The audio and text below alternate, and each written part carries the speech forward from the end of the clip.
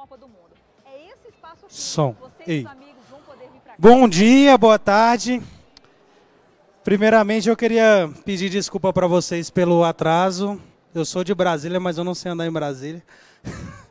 e acabei me atrasando esses oito minutinhos aí. Os meninos só vão passar um cabo de rede, que eu tenho que passar um vídeo para vocês, mas eu vou ir me apresentando enquanto isso que a gente ganha tempo. Meu nome é Weberson Maciel, eu sou designer, eu sou designer Think, sou pós-graduado em design estratégico, sou formado em comunicação social pela Universidade de Brasília, com graduação sanduíche no MIT. É, trabalhei com o Google durante quatro anos, com coordenação de implementação estratégica e experiência do usuário. Eu vou falar com vocês hoje, está dando para ouvir aí tranquilo? Eu vou falar com vocês hoje sobre desenvolvimento estratégico co- co- com o foco em experiência do usuário. Algo bem básico, com a relevância que a gente entende que a experiência do usuário não está aplicado só na mobilidade, só, só dentro das aplicações web e mobile, mas no pré e pós a utilização dessa aplicação. E vou mostrar para vocês dois cases brasileiros que teve repercussão mundial a respeito dessa experiência. Quando a gente fala em experiência do usuário, a gente tem que esquecer tudo que a gente aprendeu na vida sobre design, tudo que a gente aprendeu na vida sobre publicidade e propaganda. Eu sou publicitário de formação com a especialização em design. Quando eu fui entrar na- no campo de estudo do mobile, que eu fui para a experiência de usuário, eu tive que pegar todos os conceitos que eu trazia, colocar dentro de uma caixinha e falar: peraí, fica parado aqui, que eu preciso aprender algo novo. E a gente, por, quê? Principalmente o usuário brasileiro, a gente tem o dom de criar o novo. Exemplo, quem mora aqui no plano piloto? Aquelas praças entre uma quadra e outra, você tem a pista de caminhada, mas você tem o trajeto que a galera fez em cima da grama. A pista de caminhada o arquiteto fez, ou seja, um designer fez, alguém desenhou aquela pista para estar ali. E a caminhada sobre a grama é a experiência do usuário, porque ele não vai dar uma volta gigantesca se ele pode cortar o caminho. Isso funciona desde o do caminho que você vai fazer da sua faculdade, da sua escola, da sua empresa para sua casa, do seu trabalho, até uma aplicação. O caminho que você vai fazer dentro de um aplicativo de banco, o caminho que você vai fazer dentro do gamer, o caminho que você vai fazer dentro de um e-commerce. Na comunicação, quando a gente fala a respeito de e-commerce, isso vai se chamar o funil de venda. Funil de venda nada mais é do que você desenhar a experiência do usuário a ponto dele realizar aquilo que, vo, que você deseja que ele a realize. E é a mesma coisa vai acontecer com as aplicações. Nada mais é do que você guiar uma experiência para que ele realize o objetivo da sua aplicação, mas que ele retorne de forma prazerosa a realizar aquele processo. Deixa eu ver só se liberou aqui um momento.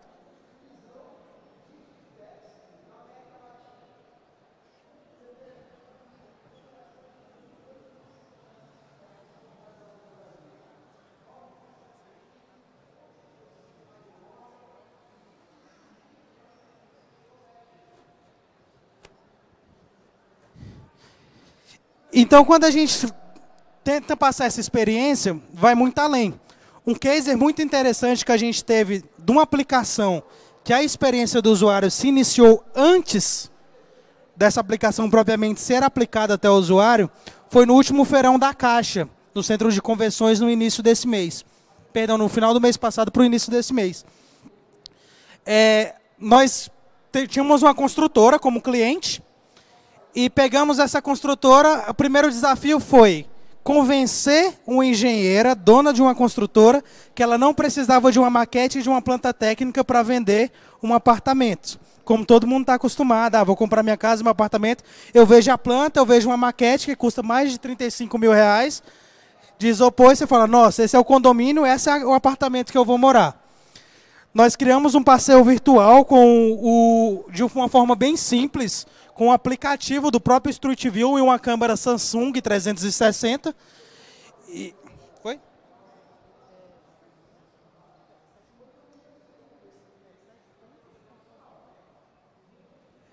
E e quando o cliente chegava no stand, ele não tinha maquete, ele não tinha planta e ele falava: "Mas como é que é meu apartamento?". A gente entregava um óculos Vieway para ele e ele caminhava dentro desse apartamento e ele caminhava dentro desse condomínio. Resultado dessa ópera, duas quedas, porque teve duas pessoas que tropeçou e caiu, ela não precisava sair do lugar. E uma venda de 400 apartamentos e encomenda de mais 50 de um condomínio que não tem nem localização ainda. Ela não sabe onde vai ser o próximo condomínio, mas eles querem 50, 50 pessoas já estão na fila de espera. São aquelas casas padrões do Minha Casa Minha Vida, do, do entorno de Brasília. Mas a gente conseguiu transformar uma experiência de você tinha mais seis concorrentes com o mesmo produto, com a mesma planta, com o mesmo formato, exigido pela Caixa Econômica, porém, a experiência do conhecer, do viver, fez o, o resultado ser avastador. Deixa eu só.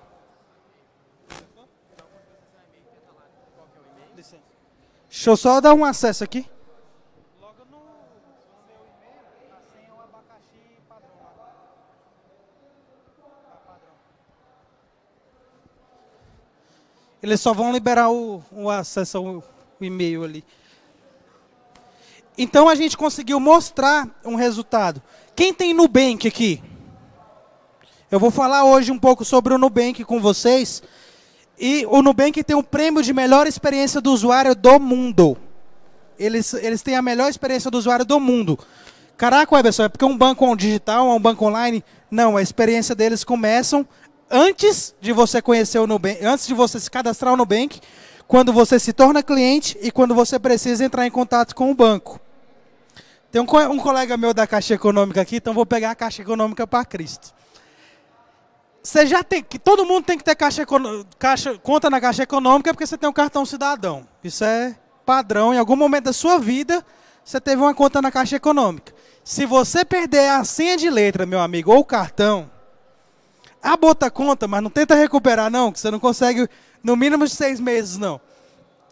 O Nubank, ele tornou essa experiência de solicitação de pedido tão fantástica, de uma forma tão fantástica, que se você mandar no Facebook para eles, bem assim, que eu perdi minha conta, pelo seu ID do Facebook, ele rastreia qualquer, qual, quem é você, qual o número da sua conta, e ele vira para você, relaxa, cara, vou te mandar aqui no e-mail.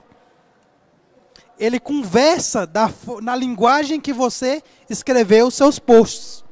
Então, se você escreve seu post com gíria, ele vai relacionar com você com gíria. Se você é um cara, sou político, meu post é 100% formal. Ele vai virar para você, voz me ser, receberás a senha em instantes. Então, ele se adaptou à linguagem do público. Licença aqui, gente, um minutinho. Ah, putz. Quer que eu retire aqui? Eu vou matando aqui, mano.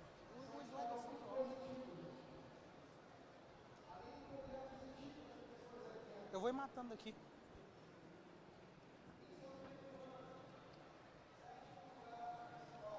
Enquanto os meninos tentam conectar a internet ali, gente, eu vou ir adiantando aqui com vocês. E quando a gente fala sobre essa experiência, o que, que o Nubank nos prova nesse fato? Ele entende quem é o consumidor dele. Ele identifica sem se preocupar com o design, sem se preocupar ah, se é bonito, se é feio, se, se, é certo, se é errado, se é formal, se é informal. Ele identifica como o consumidor dele quer ser tratado.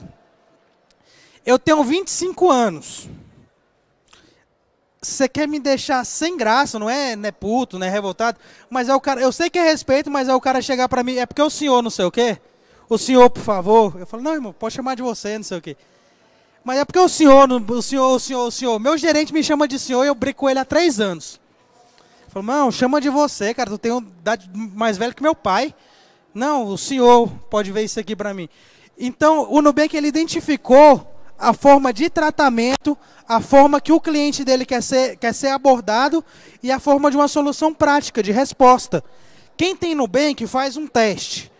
Pega uma hora que você estiver de madrugada, ao Waze, sei lá, voltando de uma balada, você abre o Nubank e fala bem assim, preciso da sua ajuda. O Boost 10 vai responder na hora, calma, quer cancelar seu cartão? Ele está pronto, ele está preparado. Tipo assim, se é madrugada, se ele é jovem, ele está numa balada, ele perdeu o cartão se ele está pedindo ajuda. Então vamos ser prático. Opa. Obrigado, irmão. Então, esse sou eu. Aqui foi justamente o exemplo. Eu achei essa foto no Google, eu achei sensacional. Que eu falei com vocês. O que o designer fez e a experiência do usuário. Simples assim. Vida própria, capacidade própria. Isso vai ser replicado do Brasil à China. A China, eles são eu sei que todos são parecidos, mas eles também fazem a mesma coisa que o brasileiro. Ele vai criar um caminho dele, ele vai criar uma forma mais fácil e prática. Entendendo na prática, essa era uma dinâmica que eu ia fazer com vocês, mas eu vou pular ela. Era só para vocês imaginarem que vocês estão fazendo, fez compra do supermercado da sua casa e você tinha que entender aonde se encaixaria cada coisa, porque seria a melhor experiência para o próximo usuário a utilizar aquele produto a encontrar. Então, se, sei lá, eu, eu não tenho filho, eu tenho, mas sou muito apegado às minhas sobrinhas, se eu compro um Danone, eu vou colocar ele na prateleira do Danone, de baixo, para ela conseguir alcançar e tal. Se eu compro um biscoito, se eu, se eu, faço isso. Ah, mas eu compro uma cerveja, eu vou pôr no congelador, porque o próximo usuário, seja meu irmão, seja meu pai, seja eu que vou buscar, ele vai chegar lá e vai querer ela gelada também. Se você quer que as pessoas usem seu app, você precisa se preocupar com três características. Taxa de conversão, alcance de objetivo e aumento de interação. Você tem que que provocar com que o seu usuário utilize e tenha desejo de utilizar o seu, o seu aplicativo.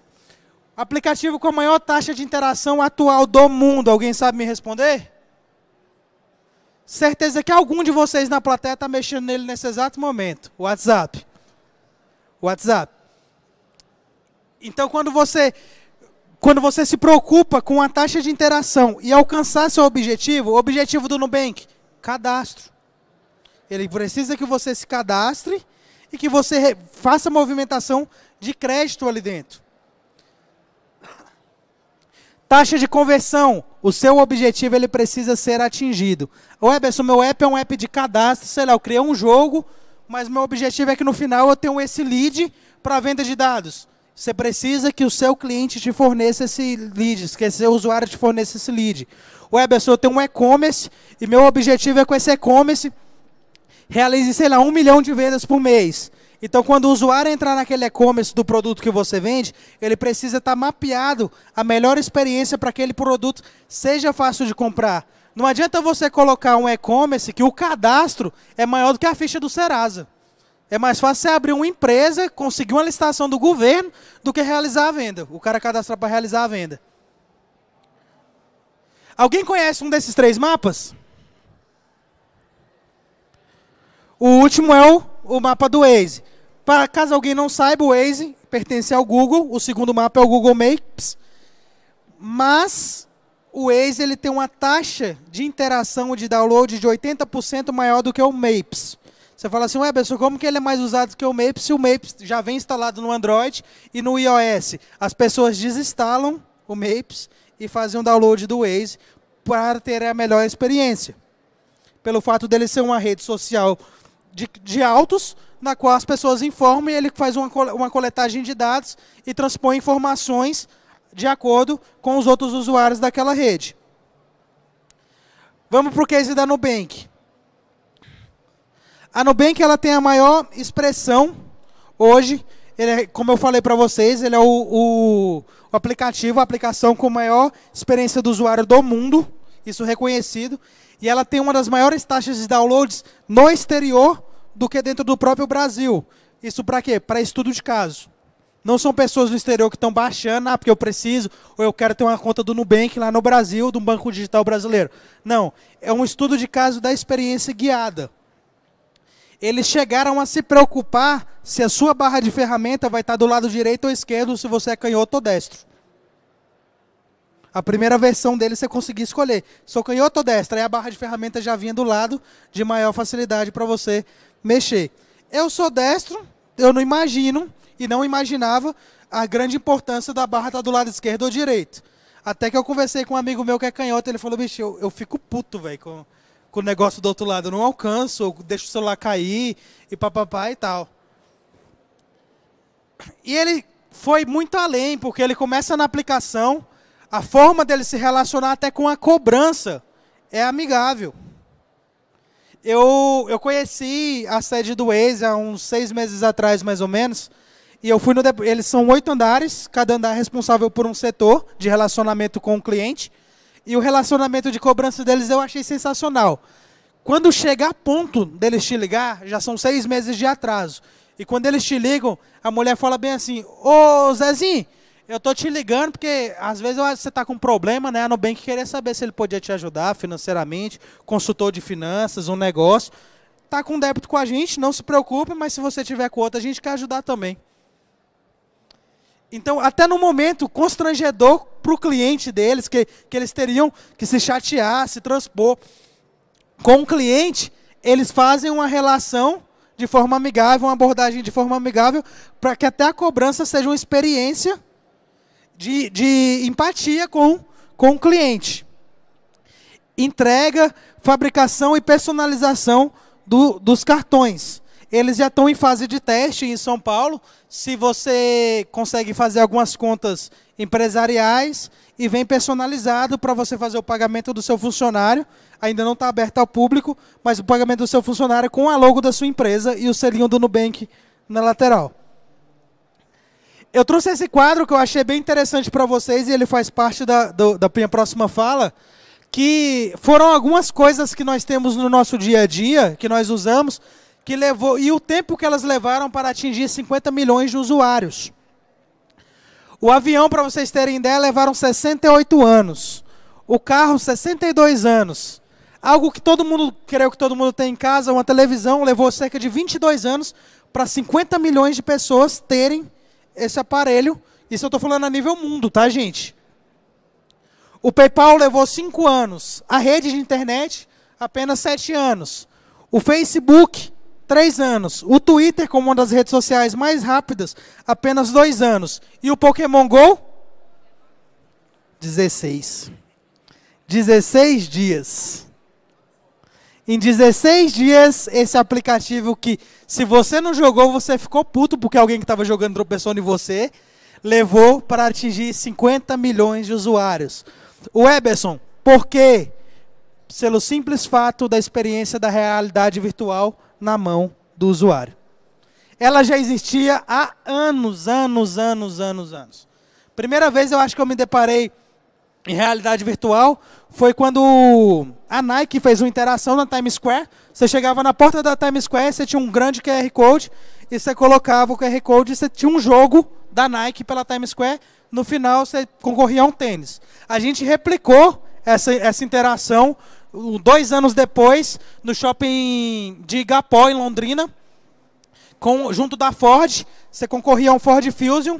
É, tinha um jogo durante o shopping e se você encontrasse a chave do carro, você levava o Ford Fusion Zero.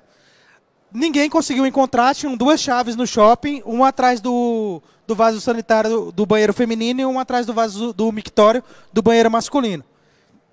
As pessoas, a partir do momento que você forneceu o primeiro QR Code, ele começava a te monitorar dentro do shopping, o, o trajeto que você estava fazendo. Várias pessoas passaram na frente do, do QR Code e foi o único QR Code que elas ignoraram. Durante 30 dias essa ação ocorreu e ninguém, infelizmente, levou o Fusion. A gente quis ir lá ganhar o Fusion no final, mas pelo contrato não pôde ir, então a gente só ganhou o joguinho mesmo. Google, a empresa com maior preocupação e experiência do usuário do mundo. Creio que a maioria de vocês já devem ter ouvido falar sobre o Google AdWords, a ferramenta de marketing, uma das ferramentas de marketing do Google. Hoje, se eu chegar lá e colocar um milhão no colo do diretor do Google, do presidente, falar bem assim, ó, eu quero ser todas as primeiras páginas do Google, sei lá, da do primeira colocação à vigésima colocar a vigésima página em qual lugar? Ele vai virar para mim e vai falar, mas qual que é o índice de qualidade para a experiência do usuário que o seu site tem, que a sua aplicação vai ter? Ah, não é nenhuma, meu site é vírus. Ele vai virar para mim e vai falar assim: você fica com Deus, tchau. O Google se importa com a experiência do usuário. Por quê? Ele se preocupa com a com, com a recorrência, com a conversão e o processo de giro de interação. Ele precisa que o usuário volte. O anunciante ele vai lá uma única vez. Eu posso ter um, um anunciante que dura 20, 50 anos, posso ter um anunciante que ele vai durar um mês ali. Mas o meu usuário ele precisa interagir a todo momento. E o Google levou isso tão a sério, isso tão a sério que em 2015 eles alteraram a logo dele. Essa logo foi alterada. Aí você está pensando, Besso, essa logo existe desde 2012. Não, em 2015, esse segundo O, o O amarelo, ele andou dois pixels para a direita. Você fala, Eberson, por quê? Quando eu fiquei sabendo da notícia também, eu falei, por quê? E fui pesquisar a respeito. E o Google nos Estados Unidos tem um departamento de acompanhamento oftalmológico em que um oftalmologista descobriu que para o usuário míope esses dois pixels faziam diferença e podia afetar a vista do usuário e fazer com que ele abandonasse o Google mais cedo antes de encontrar o resultado dele. Eu sou míope, tá visível. Se eu tirar o óculos, eu, segunda fileira eu já não enxergo mais ninguém. E, para mim, eu continuava no Google do mesmo jeito. Mas a preocupação do usuário é tão grande, porque a, a, existiu uma taxa realmente de abandono do site para outro. E você descobre que a experiência do Google é tão sensacional para o usuário de busca, quando você abre no Google, você pesquisa Edwards e o Bing está anunciando no Edwards. Para quem não sabe, o Bing é o motor de busca da Microsoft, principal concorrente do Google. Responsável, o Bing é responsável por 2% das buscas do mundo e o Google pelas outras 98%. A gente arredonda o, o, os 2% do Bing, porque é 1,80 alguma coisa, e o restante está nos outros motores de busca, Yahoo e etc.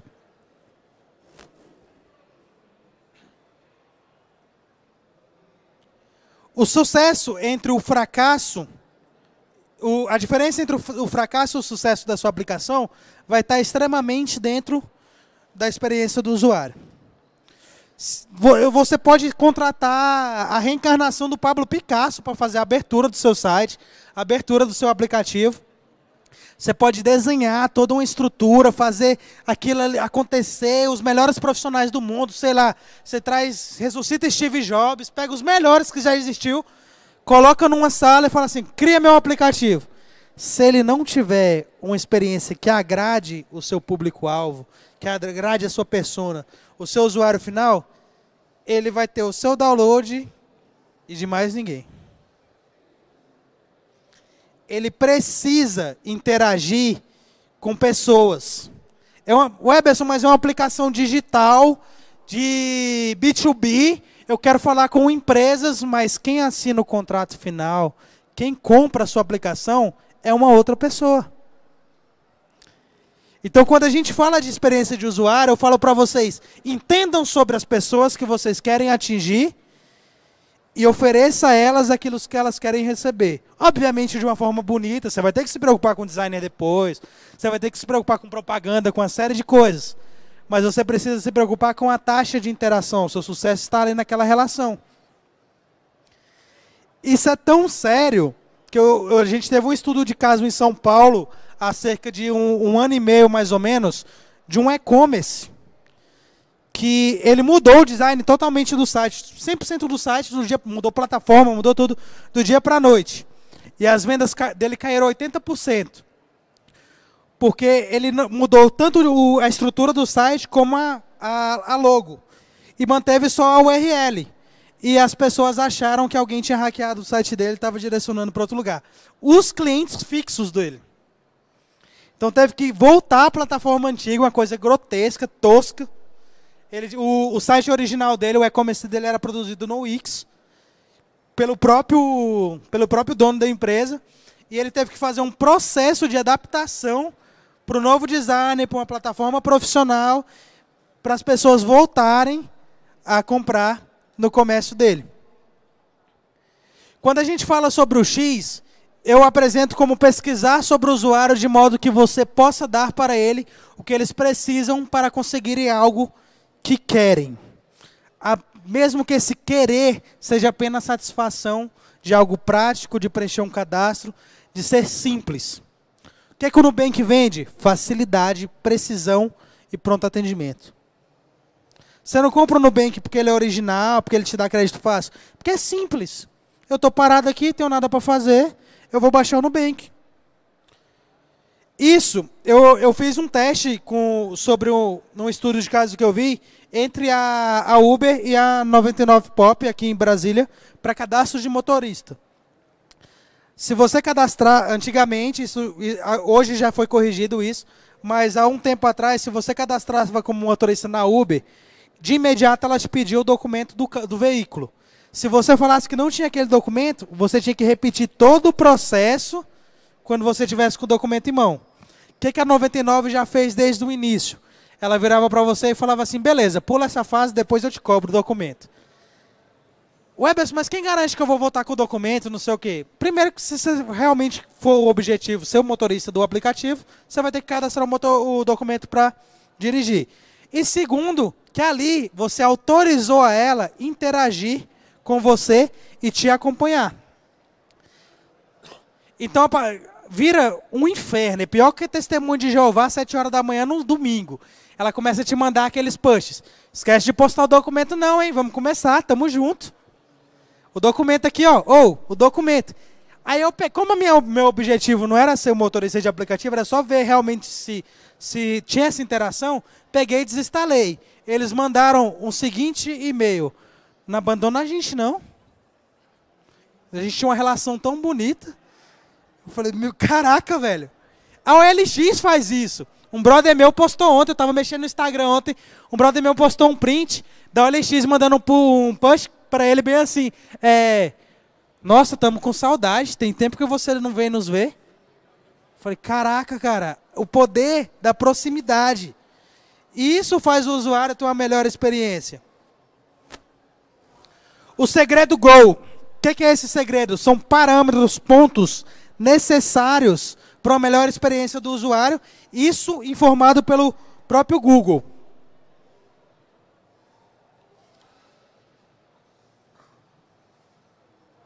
Destaque suas call to actions. É, tenha chamadas de ação fáceis. Se o seu objetivo é cadastros, que lá tem uma chamada de ação, cadastro. Que ah, o objetivo é compra, que lá tem um botão de compra. É fotografia, que lá tem um botão de fotografia. Seja algo direto. Cuidado com as promoções, não tem mais nada horroroso do que você abrir um aplicativo e ter promoção. Eu pego muito, eu faço muita viagem de, de, de ponte aérea e eu não sou o, o, nerd mais viciado em jogos do mundo, mas toda vez que eu vou viajar eu baixo um jogo diferente para ir matando tempo. E um dia desse eu baixei um jogo, cara, experiência sensacional, gráfico perfeito, realidade e tal, mas a cada 30 segundos entrava um comercial. A cada 30 segundos eu tinha que assistir uma propaganda para dar continuidade no jogo. Chegou o ponto que eu estava lá, é um jogo de tiro, eu estava matando todo mundo. Eu falei, vou ganhar essa bagaça. Aí aparece o comercial. Da Avon. Eu não. Cara, para me usar um creme é, é uma briga. Outra coisa, eu tenho, não tenho um cara que vou conseguir vender Avon. Imagina eu chegando aqui, gente, porque eu sou revendedor, negócio, oportunidade para vocês aqui. Tem um botão de busca. Eu acabei de falar para o Google, do Google para vocês. O Google nada mais é, gente, do que um template com uma barra de busca no centro. E é uma das empresas mais valiosas do mundo. Então, tem um motor de busca, seja prático, dê direcionamento para o seu cliente. Não obrigue seu consumidor a um cadastro complexo. Vocês que têm Nubank, eu acho que vocês devem lembrar do cadastro do Nubank. Nome, CPF, mandar foto, acabou. Abre sua conta, a gente vai te mandar dinheiro, eu vou te dar crédito. E o meu comprovante de renda? Não, você falou que ganha isso, está tudo certo. Vamos aqui. Seja prático. Depois você começa a pedir as informações específicas que você quer. Agora não, vou, vou abrir um aplicativo de bank online e eu quero saber quantos primos o cara tem, se o cachorro dele é de raça ou é vira-lata, se que, quantas vezes ele leva o cachorro para passear. O cara vai abandonar antes de se quer cadastrar na sua aplicação. Facilite a conectividade com outros aplicativos, compartilhamento para o WhatsApp, Facebook, Instagram, etc. E por último, faça testes. Nada, ninguém que o seu melhor do que o seu usuário para falar para você como ele quer o seu aplicativo. Exemplo dessa experiência colocada em prática. Nosso amigo Mark Zuckerberg chamou os caras do Snapchat, falou: "Vem cá, queridão, te ofereço 15 milhões, sua empresa vale 5. Eu estou te dando 15, a gente integra o Snapchat no Facebook, no Instagram e em qualquer outra coisa que eu inventar, no WhatsApp, o que for. Cara falou para eu acho que deve ter rolado aquele orgulho, né? Não, Zuckerberg está querendo minha aplicação, eu quero mais.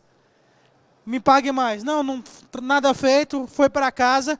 No outro dia de manhã, WhatsApp, Instagram e Facebook tinha a mesma funcionalidade do, do Snapchat, que é uma fotografia que dura 24 horas online para os outros usuários verem. Então, ele fez um teste, ele, que, ele, ele já tinha um teste realizado pelo Snapchat, tinha aceitação do público, apenas não tinha interação entre as plataformas. E ele tentou fundir. Quando ele não conseguiu fundir, ele lançou a aplicação que ele já sabia que ia dá certo. Hoje, no Instagram, a maior interação está no Stories do que nas próprias publicações. No entanto, você tem blogueiro, digital influencer aí, que ele vive de Stories, e quando você vai ver, o cara tem 12, 15 publicações com um milhão de seguidores. Só que a taxa de interação dele com a galera do Stories é gigantesca.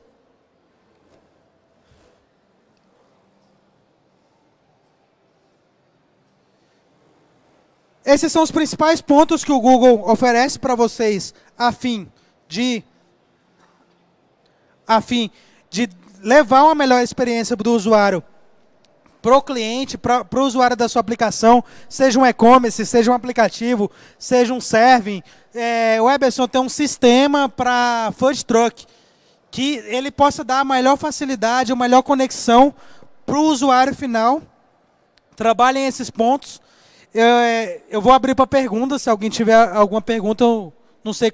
Galera, passa o microfone. Como é? Eles vão passar um, um microfone para vocês.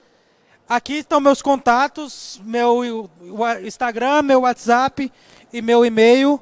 É, eu sou sincero, eu respondo o e-mail e o Instagram mais rápido. O WhatsApp às vezes não é maldade, é porque a conversa passou, ou eu, eu vou, mas eu respondo, não tem dificuldade. Se alguém tiver alguma pergunta, basta levantar a mão, a galera vai entregar o, o mic. Oi, som, som, testando. É, Eber, é, quanto ao no, no governo, tem algum órgão de referência trabalhando a experiência do usuário? Cara, que eu conheça a fundo, não. Se tiver alguém do governo que tenha é, esse conhecimento, que eu conheça a fundo, não. Que eu goste da experiência, a Secretaria de Turismo em Brasília, o relatório de interação deles do, do, turista com Brasília, eu precisei dessas informações há um tempo, eu achei a experiência bem bacana. Ele, ele é interativo. O site todo em si eu daria uma nota 6, mas é, essa aba ela te fornece uma experiência de interação de dados, de informação assim bem prática, animada, dinâmica. É, seria uma referência que eu daria tipo de uma interação legal dentro do governo. E a nível de aplicação, eu falaria do aplicativo de abertura de contas do Banco do Brasil, né? O Banco do Brasil tem um aplicativo que você consegue abrir a conta, você consegue já começar a movimentar ela ali a partir da aprovação e depois você vai sacar dinheiro, você vai conseguir pegar cartão e você vai ser direcionado à agência mais próxima da sua casa. Mais alguma pergunta?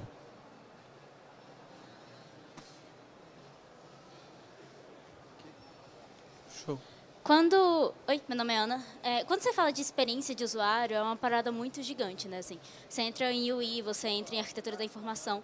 É, como é que você, assim, para fechar bem, do tipo, pô, é porque eu sou publicitária, eu estou migrando para o X. Qual, qual que você acha que vai, é o principal, assim, vai, foca nisso e depois aprende o resto, assim, para quem já está na área há algum tempo?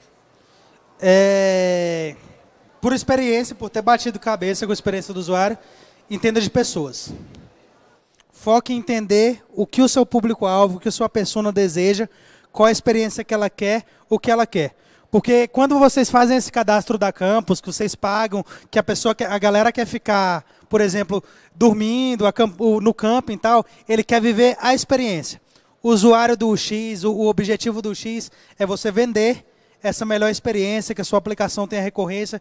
Então, eu sou, igual eu te falei, eu sou publicitário também. Coloca todo o nosso conhecimento numa caixinha e entenda de pessoas, que a partir do momento que você entender de pessoas, todo aquele conhecimento você vai saber, agora eu vou usar o X, agora eu vou usar o Y, agora eu vou usar design, agora eu vou usar copyright, etc.